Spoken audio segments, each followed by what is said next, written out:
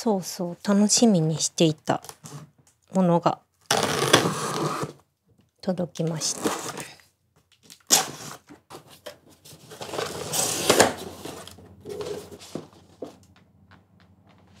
おお素敵。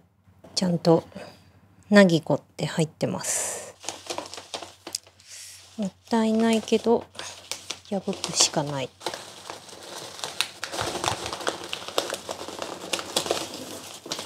じゃんじゃん。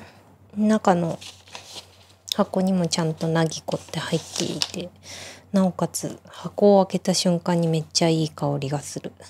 でこれが何かと申しますと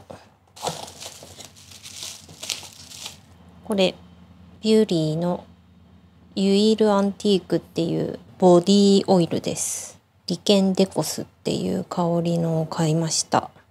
あ去年ちょっといただいてすごい良かったので今年も冬は乾燥がひどいのでこれをポチってゲットしました。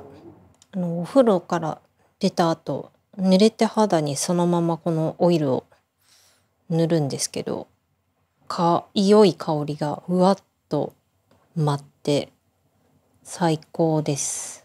パッケージも可愛い。ただこれガラスなので割らないように要注意。 BULY はこのえっと Double Pommade Concrète っていうハンドクリームも愛用してます。つけたてはちょっとベトベトするんですけどなんか時間が経つとむちゃくちゃ浸透していく感じで乾燥ひどい方おすすめです。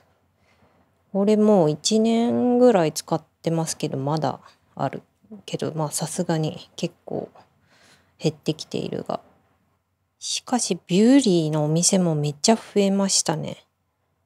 代官山にできたのがいつだったかな。7店舗もあるらしい。骨董通りは確か今年オープンして場所がえー、ギルドのオフィスの近くみたいなんですけど。まあほぼ最近オフィス行ってないので骨董通りのお店にも行けてないです。なんかすごい素敵なお店らしいんですけど。そして試供品がいろいろ入ってたんですけどなぜかこれシェービングクリームだった。まあ渚って名前だからもしかしたら男性だと勘違いされたのかもしれない。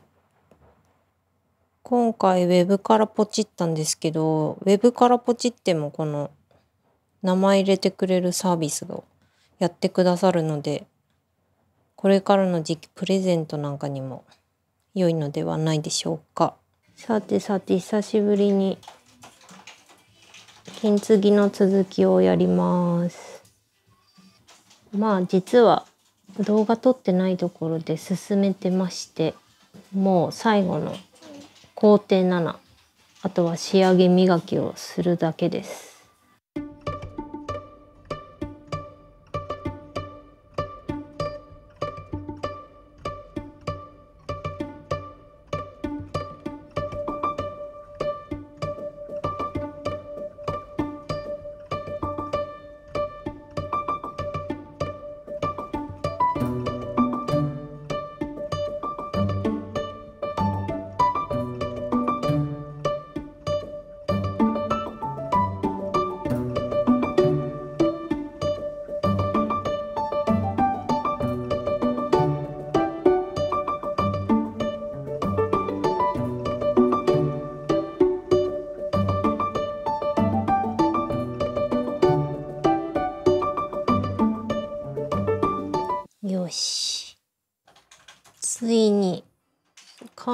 完成まあまあ初めてにしては。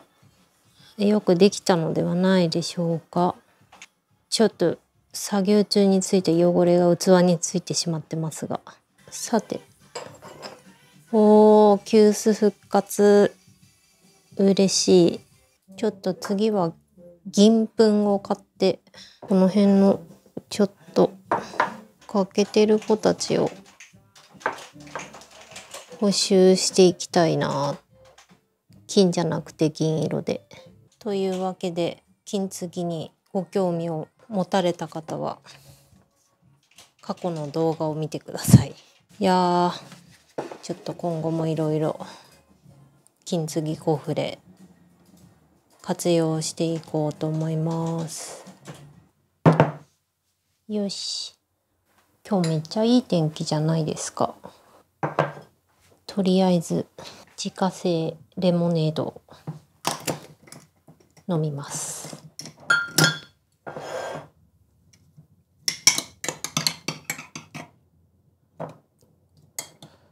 これレモンを輪切りにして蜂蜜と三温糖っていうあの茶色いお砂糖入れてつけとくだけなんですけど作っておくとまあホットでも飲めるし炭酸水で割ればアイスでも美味しいし結構季節問わず常備してます。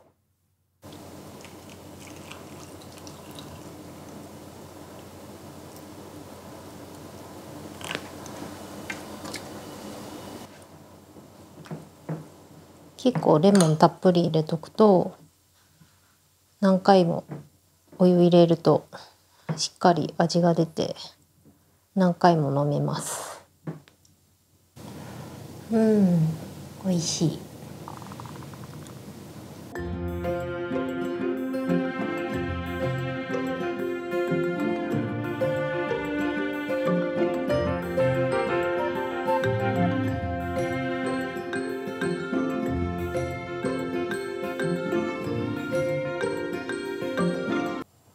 しかしこれ何回も見ちゃいますね。早まんないかなーって。早まってないです。残念。いやー前々回のウィークエンド Vlog でお話ししましたがこのスリックのスタンダポットエアリー5本当おうち Vlog 撮るのにめっちゃ便利です。まあちょっと BMPCC4K を上に乗っけると揺れちゃう感じはあるのでそこ注意しなきゃ注意しないといけない感じはあるんですが、まあ、すごい小回りが利くのが最高だし足開いたままちょっと部屋の端に置いといてもそこまで気にならない良かったです購入して。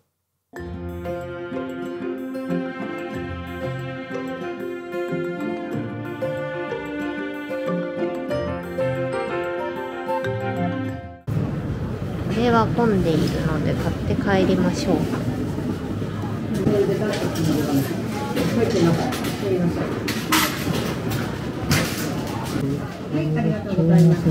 あーどれにしようか？な。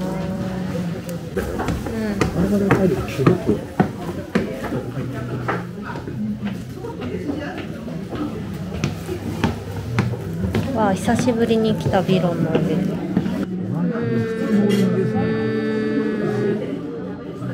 ちょっとメニューが逆なので見づらいですね。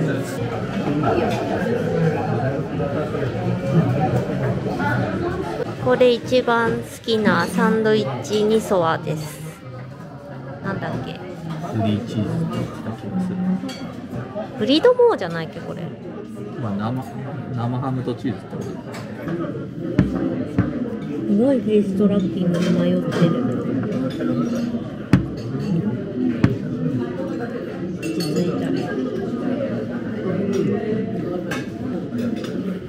から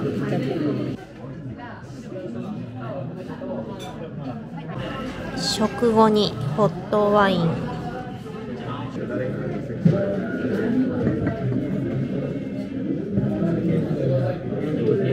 いやおいし